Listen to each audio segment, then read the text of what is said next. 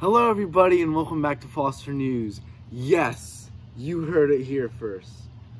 We're, this is Foster News, where news meets news. I have returned.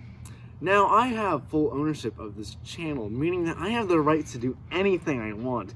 That means I could post a picture of me, post a video of me eating a, just a, a like a full-on loaf of this toast. Ugh! But yes, I have returned. And I will be trying to post out as much content as I can possible. So yes, my children. my children, yes. we